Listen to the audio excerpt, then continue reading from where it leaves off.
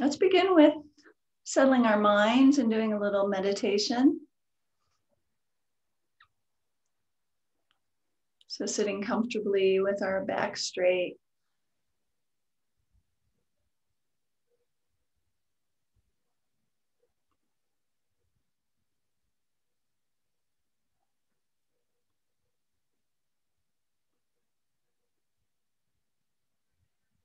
And being aware of your body sensations and any tension that your body may have.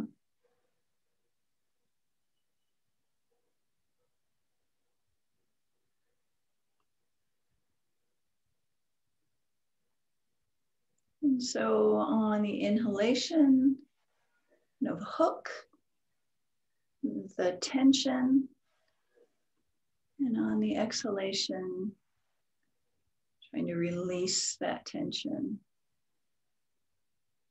or relax into that tension.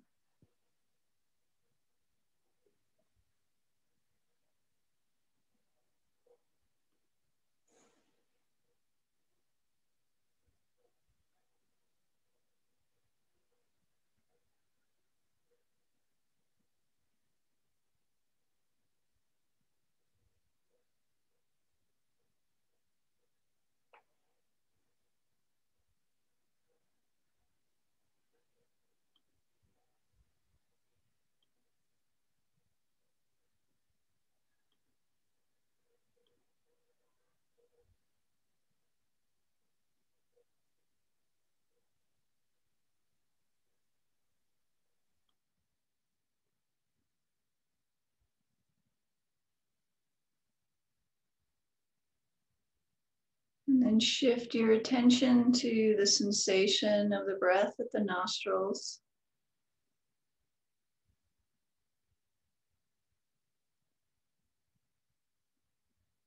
So here we're focusing on the sensation, right? The body sensation of the breath, not the thought of the breath, not visualizing the breath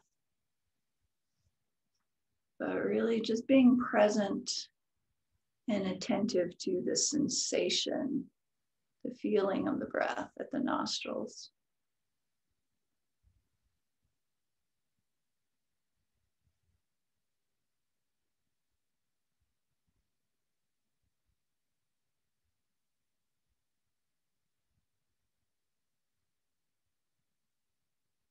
And trying to hold our attention there.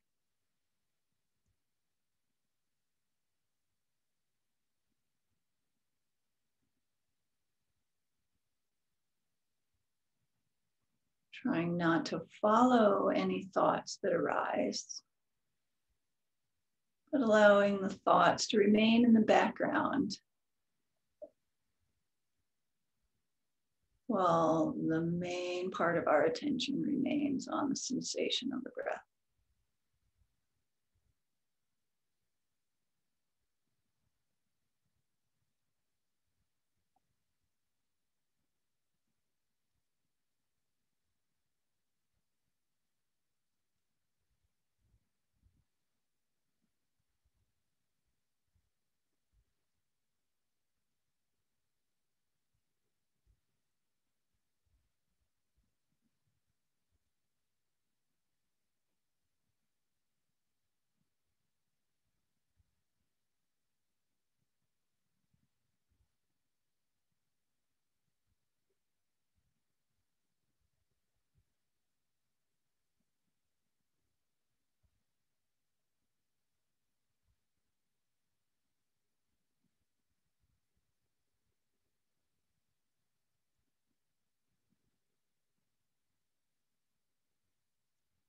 And so, once again, the awareness of the sensation of the breath is a body consciousness.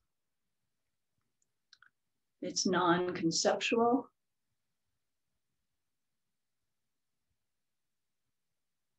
And as long as it's non mistaken, it's a direct perceiver.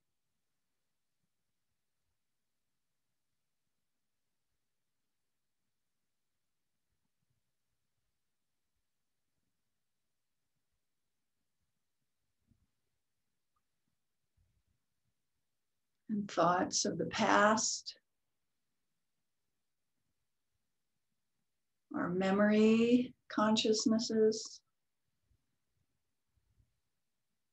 which are conceptual and facsimiles of a direct perceiver.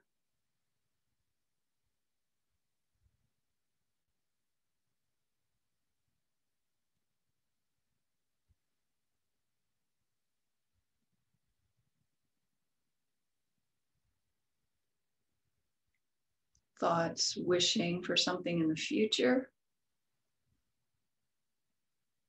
are also conceptual.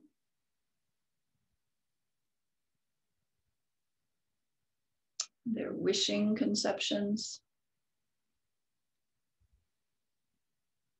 and facsimiles of a direct perceiver.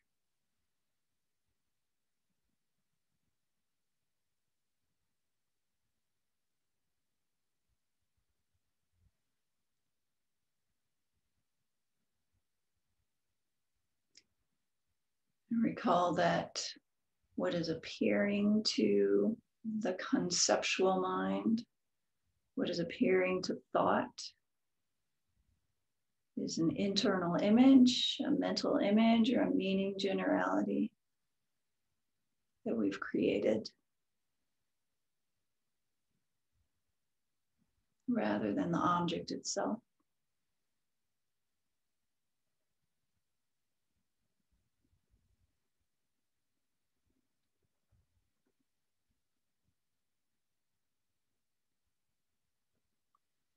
But it can be correct and useful and incontrovertible. But a conception is always, the appearing object of a conception is always a mental image.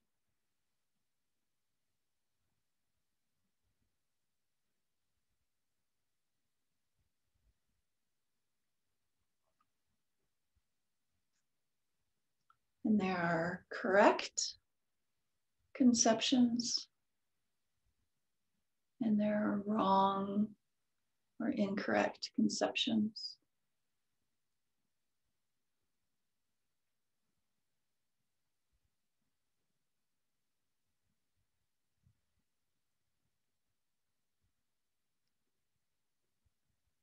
The thought that this is the awareness as knowers class is a conceptual mind. It's a correct conception. It's a conventional conception.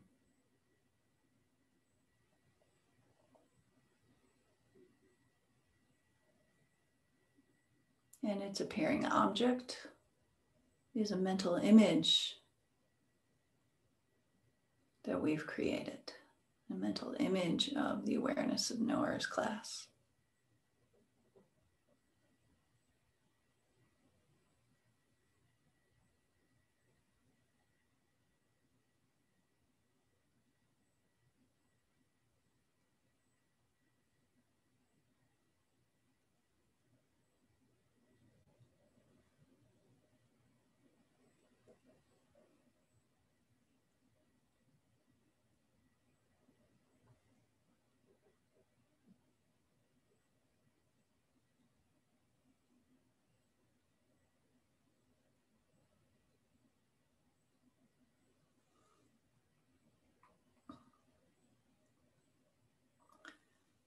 And then all of our mental afflictions,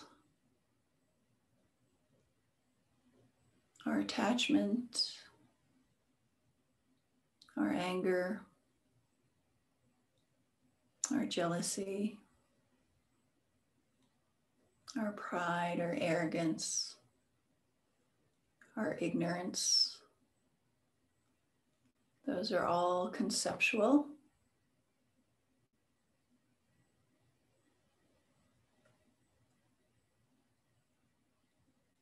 And in what is appearing to the mental affliction is a mental image that we've created.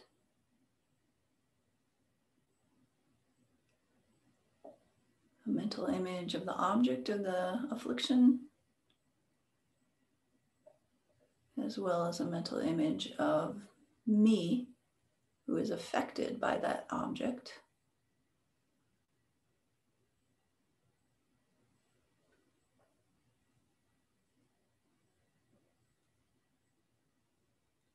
A mental image of a concrete, attractive person or thing. Or a mental image of an unattractive or horrible or awful person or thing.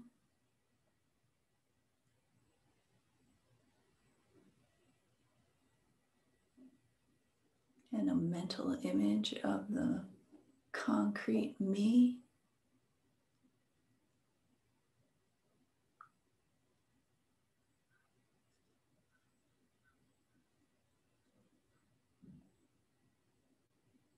And those mental images were created by ourselves.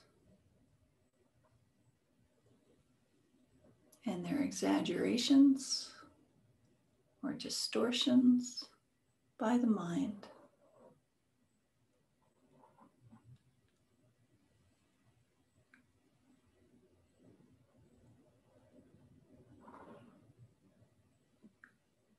So, that object of engagement of a mental affliction does not actually exist.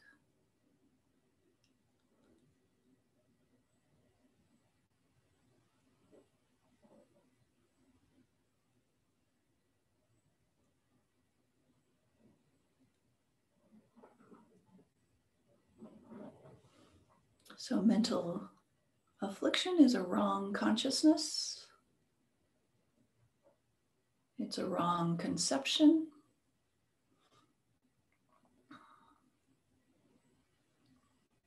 It's a facsimile of a direct perceiver.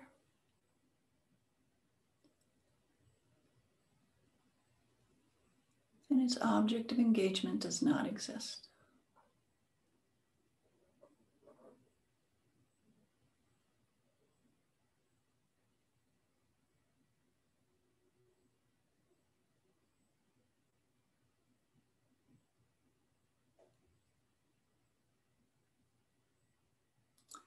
So, see if you can notice in your experience the difference between a sense consciousness, you know, that's perceiving sights or sounds or odors or tastes or body sensations directly without a medium of a mental image.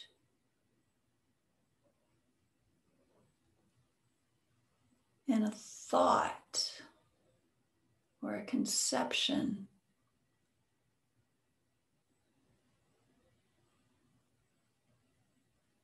Whose appearing object is a mental image. So, seeing if you can notice experientially, you know, the difference in your experience between the direct perception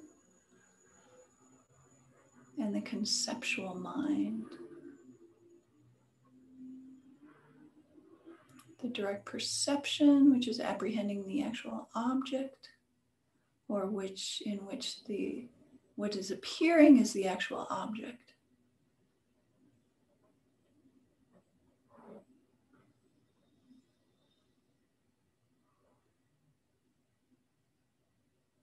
And the conception or the thought in which what is actually appearing is the mental image.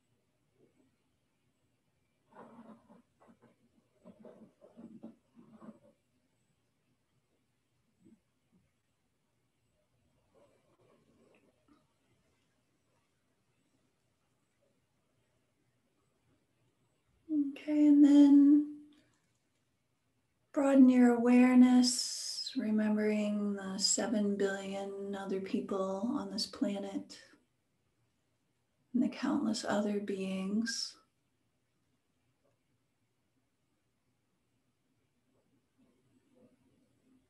We're all wanting to be happy, not wanting pain and problems.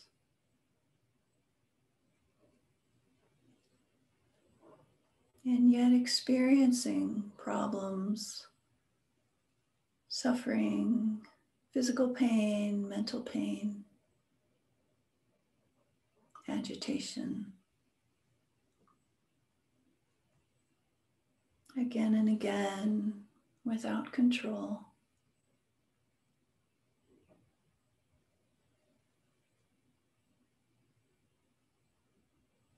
And seeing if we can develop a bodhicitta motivation.